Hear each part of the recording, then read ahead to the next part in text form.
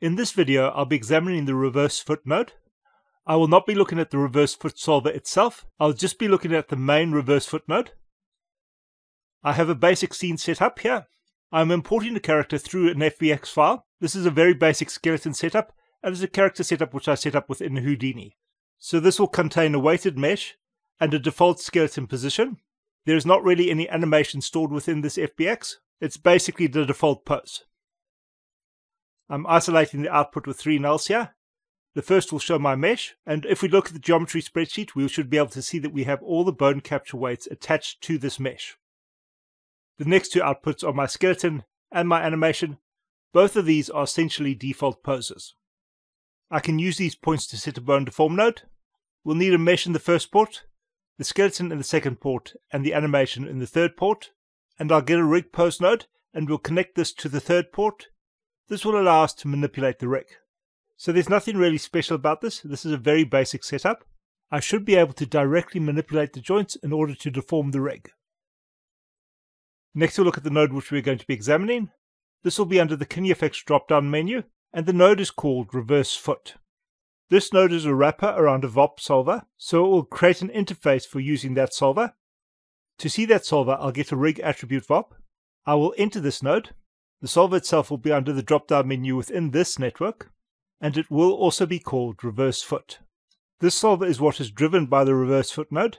We can drive this solver separately. Doing this will give you a lot more control than using the built-in node. However, this is not something which I'm going to be covering. There are two main solvers like this which are built into KineFX. There is the reverse foot. This has a default implementation which is created as a SOP node. The other main joint in this regard is the realistic shoulder. This, however, is only available as the solver. These solvers are primarily used for driving motion capture. They can also be used for rigging. In terms of rigging, I would refer to these nodes as lowest common denominator nodes. This is not meant to be a slight on them, however, it describes their intended purpose. The reverse foot node is designed to give you the base functionality for a reverse foot, and it is designed to work consistently with motion capture. It is not designed to do anything complex or special. It does what it needs to very well, if you wanted to extend its functionality, I would actually settle with using the actual solver itself. However, in a lot of cases where you want more complex functionality, it's better to build your own rigging systems. For motion capture, or very quick basic rigging, where you do not have either the time nor the need to build complex rigging systems, this node is an ideal solution. So this will do every single thing that you need to do for the most common case of a reverse foot, but it will not go beyond that. So now we can look at how we'll actually use this. The most important thing to know with a control like this is that it is not used to drive the rig. This will be used to drive the controls. With KineFX, we essentially have three types of geometry. We will have the mesh, and the mesh will be driven by our skeleton. The skeleton itself will be driven by solvers, and these solvers will constitute the rig. However, these solvers are not calculated off the rig itself most of the time. Instead, they'll be calculated off a separate piece of geometry, which will be used to create the controls. And these controls will need to be manipulated in order to manipulate the rig. So essentially, we're creating two rigs, one which will affect the controls. These controls will then be used to modify a second rig, which will control the skeleton itself. The first input of this node will take our geometry, and this will be connected to my animation branch. This branch is what I will use for my controls. Then there are a couple of things which we can set with regard to this node. The very first option in this node is a mode option. There are three modes. The first is actually a combination of the second two. We can either use this node to create attributes to drive our rig, so we can define attributes for the reverse foot. These will be cached in a config attribute. By default, this will be called reverse foot config. And we can use these to drive the solver. This will allow us to simplify our network it will also simplify the node interactions, which does mean this will be a more performant option. I will not be doing this. I'll be creating the attributes in this network. I'll also be using them within this network. Since I'm going to be dealing with this in a single network, I'll start by doing both of these at the same time. I'm not going to be working with any of the mirroring options. I'm also going to specify that I'm going to keep the markers. I am going to perform a very basic minimal setup with this node. To start with, I'm going to need a reference to the pelvis. In this case, I've stored it in a joint called hips. This joint will be the parent of my leg nodes. This is not strictly required, but this node does not work well if you do not select a pelvis. After this, we'll have the entries for the controls for the leg. This node will allow for multiple entries and will allow us to work with multiple legs. In this case, I'll only be setting up a single leg, and I'll start by getting my thigh. We'll not really use the thigh joint as a control, but it is required for the IK solver, so we will keep it here. Next, we'll have our knee joint.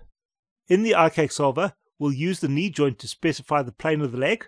We could think of this either as a twist control or as an up vector for the leg. This will be followed by our ankle. This will be used to control the position of the leg in the IK. This is essentially the end point of our leg. In rigging terms, this is the effector of the leg. The next joint will be the ball joint of the foot. Essentially, this is the joint which will control the toes of the foot. Technically, this is the last joint of my leg, and this is actually the last joint that we need for any deformation. We can, however, specify an effector at the end of the toe, and the effector would be the last joint within the solver. In my case, I do not have the toe effector. That is because it is a joint which is not strictly necessary for animation, and it is not a joint which I plan to have any children attached to. The reverse foot node does not need the toe to be specified explicitly. However, if the toe is not a joint in the rig, we will need to specify its position within the parameters. This is part of what we store in our config. I will lower the marker scale so we can position them more easily. Below where we set our joints, we have a number of options for placing these joints. There are also options for animation here. Which menus we see here will depend on the mode which we are using. The offset markers menu will be used to configure our markers. The markers will be the positions around which our foots will pivot.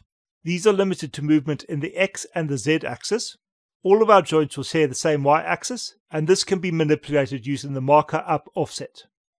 Positioning these markers can be time consuming, and we do not actually need to do this. If we have weighted input geometry and a skeleton, we can use those to configure this node instead. That is the option which I'm going to take, the second input for our reverse foot node is called rest geometry. This refers to our weighted mesh, but it refers to it in the rest position. This is a position where it has no deformation. The third input refers to the capture skeleton. This is a skeleton which has all the inputs required for our bone capture attribute on the geometry. Essentially, we need the skeleton which we use to generate the weights for this rig, although technically any skeleton with identical naming should work. So I can connect my skeleton to the third input. I'll connect my rest geometry to the second input. And this should calculate positions of my markers based off my actual geometry. This will not give an ideal result, but it is a result which we can tweak more easily. The marker representation can be scaled down a little bit more, and I'll offset my marker a little bit in Y so that it matches the geometry a little bit more closely. We should now have our basic controls for the leg and this control setup can be used to drive our foot. There are a couple of ways which we can use this setup. There are sliders which we can use to roll the foot. We can also activate the viewer state for this node by pressing enter in the viewport, and this will allow us to manipulate the foot controls directly. We also have sliders which we can use to manipulate each of the joints individually. This will give us our basic set of controls, and we can use this control set to drive our rig. In this case, I want to create a basic IK setup. Before I do that, however, I want to make these a bit more functional as controls. I'll start by getting a parent joints node. I will also need a rig pose node. I will connect the rig pose to the solver. We should now be able to use this to control the positions of our leg and foot. However, currently I do not like the setup. Currently when I move the knee, I'm moving the ankle as well. The knee should move independently of the foot, and it should only affect the plane of the leg.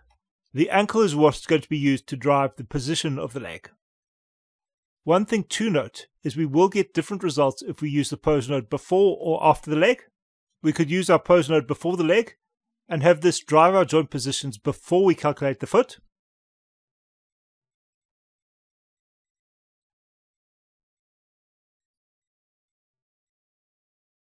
A third option for the rig pose is to configure our joints before the rig pose. We could then have a second reverse foot node after our rig pose. This reverse foot node will be used explicitly to drive our animation. So this first node will be used to set up our config. This is a detail attribute and we can examine it in the geometry spreadsheet. As stated earlier, we could actually store this as part of the geometry. The second node could then be set to solve reverse foot, and this would be used to manipulate the solver. However, I do not like the way this interacts. I prefer to have the rig pose before these solvers. That is because I know this will give us a correct setup for the foot. It also makes sure that we're manipulating the ankle before the foot is updated, so it should give us a correct setup for the leg as well. So next I'll use my parenting node, and I'll add this before the rig pose node. In this case I'll be updating the leg with two parenting operations. The joints that I'm going to change the parenting of are going to be the knee and the ankle. For this rig, my controls have a root, and that will essentially be the parent of all of the controls. I'm going to make these joints a child of that, if I did not have a specific root joint, I would parent these to the scene root. Separating the hierarchy like this means that our knee can be transformed without affecting the ankle. This will give us a much better control for our IK setup. So essentially the structure which I have now is I've reparented the joints. This will be followed by the ability to pose the joints. After this I'm configuring the reverse foot joints. And then I'm applying the solver for the reverse foot joints. We could, of course, do these at the same time, but for manipulation purposes, it is actually easier to separate them. So we have our control set up. Next, we'll want our solvers. To create these, I'm going to use a rig attribute VOP. The rig attribute VOP should be setting my skeleton. So the skeleton should connect to the first input. In this case, I've connected the wrong input. This should be the skeleton and not the mesh. The second input will be set by our controls. For the leg setup, I'm actually going to need two solvers. One is going to be for the IK. The second one is going to update the position and the rotation of the foot.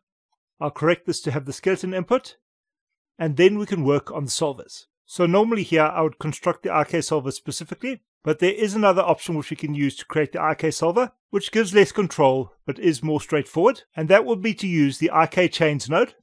This is a two-bone IK solver. There are actually two IK solvers within KineFX, and this is built off the more simple one but this will give you a way to quickly set up an IK leg.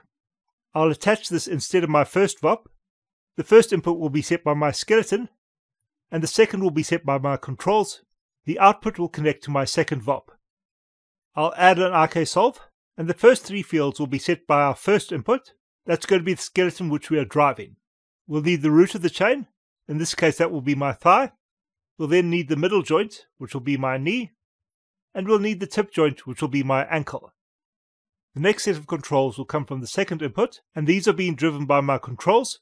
The first of these will be used to set the plane of the leg, and that will be set by my knee. The joint names here are the same. This is something which I prefer. Here I track my geometry using the network rather than the specific naming. However, the names for the controls do not need to be the same as the names for the skeleton. My second control from the second input will be my ankle.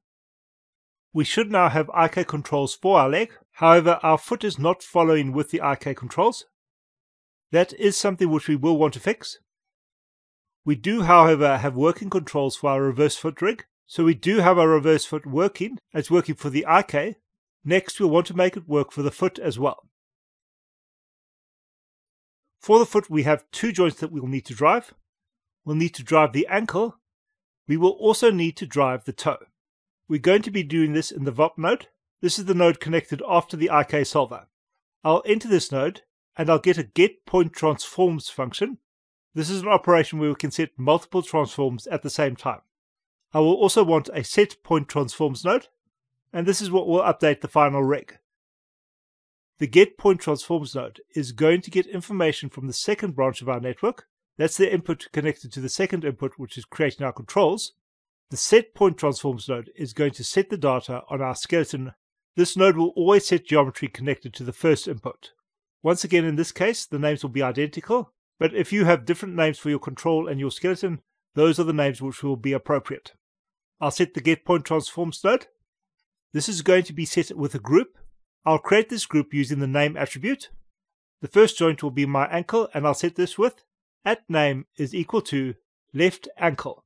This will be followed by at name is equal to left foot, and this will be setting my foot control. Since in my case the names are going to be the same, I can just copy this and I'll paste it into the set point transforms node. The main thing to take note of here is we want to keep our joints consistent, so the namings for the joints in the controls need to match up correctly with the naming for the joints for the skeleton. For the get point transforms node, I need to specify that this is coming in from the second input. I will then use the transforms from the get point transform node, and I'll use these to update the transforms in the set point transform node. This should complete our solver, however we will not necessarily see our updates in the viewport. I'll return to the main rig network, and I'm going to place a null after my solvers. By doing this I know that I'm going to get the results of the solver. We should now see that the bone for the foot is updating according to the controls. This should now match our reverse foot, and this should be working correctly with our IK solver. The result of this can now be used to drive the deformation in our bone deform node. We have now completed the animation branch for the leg. This is going to be used to drive our skeleton, and in turn this is going to be used to deform our mesh. I should now be able to use my reverse solver to drive the foot, and this should also work in concert with IK controls for the leg.